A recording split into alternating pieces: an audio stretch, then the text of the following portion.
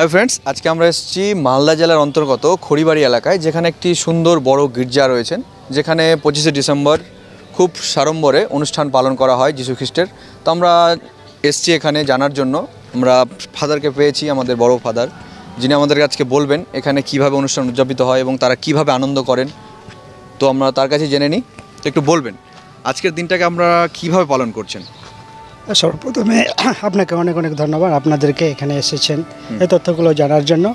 আর সর্বপ্রথমে আমি এই বড়দিনের উপলক্ষে আপনাদের এবং সকলকেই সব ভিউদেরকে আমি প্রীতীয় শুভেচ্ছা জানাতে চাই এবং বেবি জিজেসের আশিস তাদের উপর যেন বর্ষিত হয় এই কামনা করি।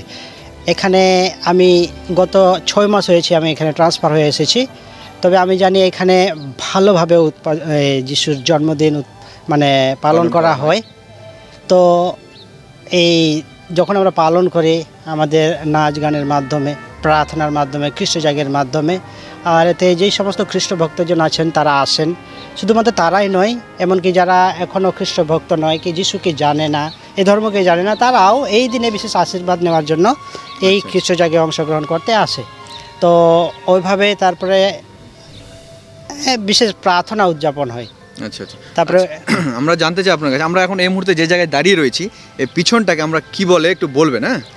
পিছনের জায়গাটাকে এখানে হয়েছে। এটাকে গৌশালা বলে। আচ্ছা। আমরা জানি যে প্রভু যিশু ঈশ্বরের পুত্র হয়ে কোনো স্থান পাননি একটা গৌশালায় জন্মগ্রহণ করেছিলেন। আর তাই আমরা খ্রিস্টানরা এরকম গৌশালা বানাই।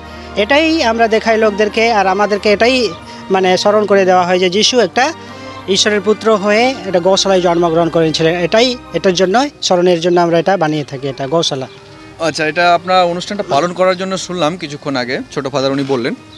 অনেক আগের থেকে আপনাদের কিছু রীতি রেওয়াজ পালন করতে হয় এমন কিছু কি?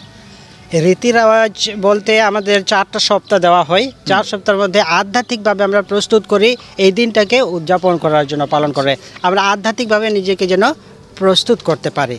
তো আমাদের ওটাও আবার বিনতি প্রার্থনার মাধ্যমে নির্জনের মাধ্যমে আমরা সেটাকে আধ্যাত্মিকভাবে প্রস্তুত করি। আচ্ছা এখানে যে সমস্ত আপনার ভক্তরা রয়েছেন গ্রামের আশেপাশে বা এখানে কোনো শিক্ষামূলক ছেলে মেয়েদের কি শেখানো হয়? হ্যাঁ অবশ্যই। আগে শেখানো হয় যেমন আমরা এখানে স্পোকেন ইংলিশ সপ্তাহে দুবার শেখাই তাছাড়া আমাদের শিক্ষা বলতে গেলে এখানে প্রাইমারি স্কুল আছে অনেক ছাত্রছাত্রী এখানে আচ্ছা প্রাইমারি স্কুলটাকে আপনাদের অধীনেই আছে তাই হ্যাঁ আমাদের অধীনে আছে। এখানে খালি কি আপনাদের যারা শিষ্যত্ব গ্রহণ করেছেন তারাই কি পড়তে পারেন নাকি না না না না না এটা যে কেউ এটা ওপেন টু অল আচ্ছা, আচ্ছা, সবার জন্য খোলা। অফ রিলিজিয়ন এন্ড কাস্ট আচ্ছা আচ্ছা থ্যাংক ইউ বলার জন্য। আচ্ছা আজকে বলবেন আজকে যে পঁচিশে ডিসেম্বর বড়দিন পালন করা হয় এখানে কি আমরা জানি সাধারণত যে কেক কাটার মাধ্যমে পালন করা হয়? তো কেক কাটার আসল উদ্দেশ্যটা একটু যদি বলেন ভালো হয়। ধন্যবাদ।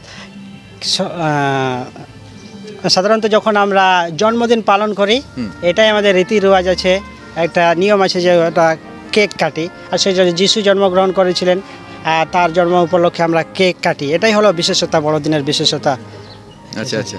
তার উপলক্ষে একটা খাওয়া। দাওয়ার মাধ্যম দিয়ে আলো আর কি উদযাপন করা হয়। ঠিক ঠিক। আচ্ছা থ্যাংক ইউ আপনি খুব সুন্দর আমাদেরকে বললেন আমরা জানতে পারলাম এবং যারা দর্শকরা দেখছেন তারাও খুব জেনে আনন্দিত হবেন যে আমাদের বাড়ির পাশে মালদা জেলায় হরিপুর থানায় খড়িবাড়ি অঞ্চলে যেখানে সুন্দর একটা চার্চ রয়েছে গির্জা রয়েছে সেখানে আনন্দের সহিত আমাদের পঁচিশে ডিসেম্বর পালন করা হচ্ছে।